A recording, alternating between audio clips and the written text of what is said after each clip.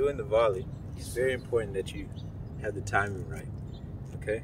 So when you are in your stance and you're at the net, whether you come to serving volley, whether you're playing doubles or you're already at the at the net, whatever the scenario is, you're most likely going to have your first volley in this area. So your first volley is going to want that's going to set up the next volley in most cases, or sometimes be the put away volley. And the thing that is very key, we have three phases in every skill when it comes to any sport, but especially tennis. You have preparation, hitting, and follow through.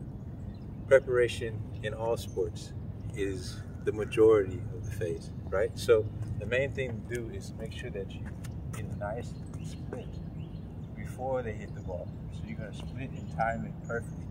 If you make contact too early on the volley, like here, opposed to splitting here and having contact be here, or if you get it too late to where you're hitting and then now you got to hit through it.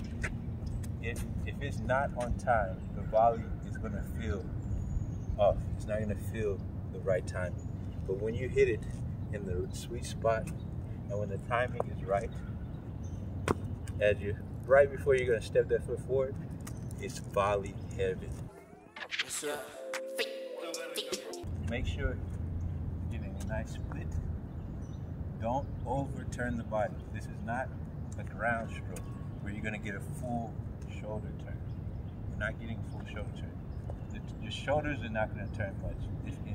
We're going to go here, maybe a slight turn, and we're going to step. And also preparation is having the racket up already. Even if you watch the Bryan brothers and some of these doubles players, they're here. You don't see them here. We don't see them here. You know, we're not here. We have the racket up so that all we have to do is Okay? Just keep it stupid simple as they talk about kiss. Keep it kissable. Stay in volley heaven. This is Coach Blake signing out. Shout out my Jones. I am Johnny.